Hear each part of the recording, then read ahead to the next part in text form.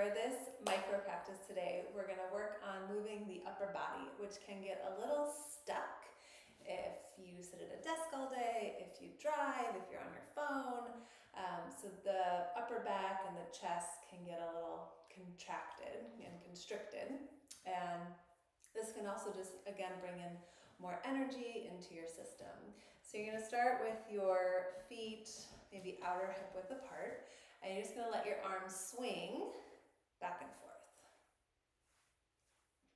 And then instead of looking at the screen, look straight ahead and just let your head go for a ride. So this can work up your upper spine, even into your neck and head.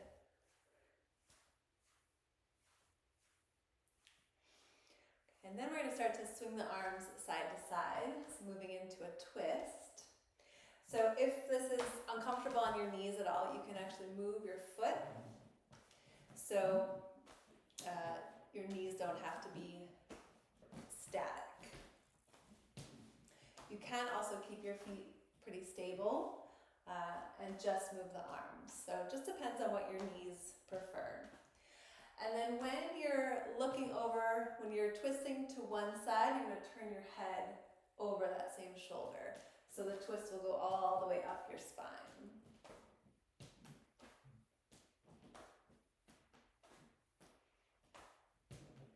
Okay, so then from here, you're gonna bring the hand, so this one's down by your side. Now you're gonna come a little higher, and you're gonna tap your ribs. So you'll come, be the same thing, just the hands come up and give a tap to the ribs. So just bring some energy and movement into the whole torso.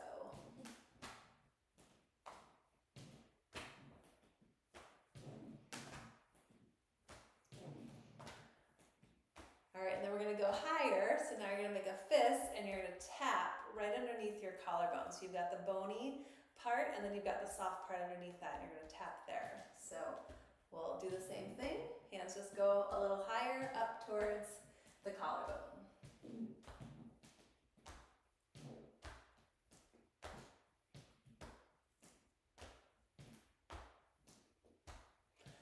And then last part is you're gonna take the knife edge of your hand and you're gonna tap right on the and the meaty part of your upper shoulder, so your mid trap. And so same thing, you twist and tap with your outer edge of your hand.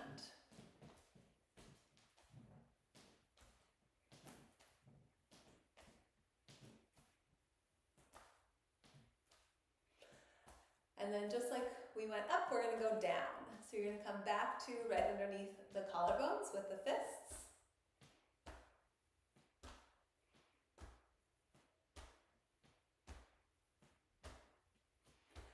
And then to the ribs.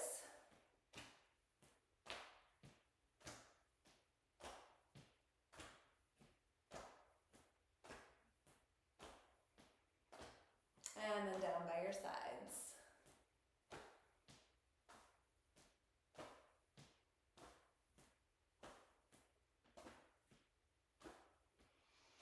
Okay, and then come back eventually to neutral. You can walk your feet in to wherever they want to be.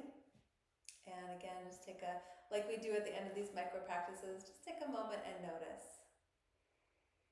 You might notice energy, you might notice something, maybe the mind's a little clearer, you might notice some lightness or warmth.